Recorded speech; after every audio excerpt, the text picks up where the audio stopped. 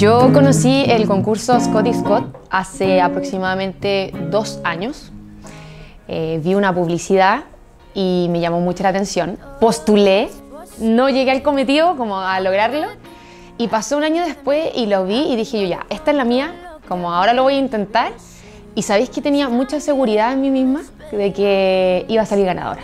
Soy lo que soy es una canción muy, pero muy especial para mí. La hice en un momento donde estaba pasando por una crisis en mi carrera musical y creo que viene a ser un recordatorio de tener que valorar eh, quién es uno mismo tal cual es, con sus sombras, con sus luces, eh, con sus días buenos, con sus días malos.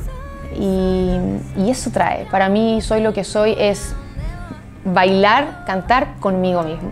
Para mí el concurso de verdad que ha sido una gran oportunidad, estoy muy feliz y, deseo que obviamente muchas mujeres más sean y artistas sean beneficiadas con, con instancias así tan importantes.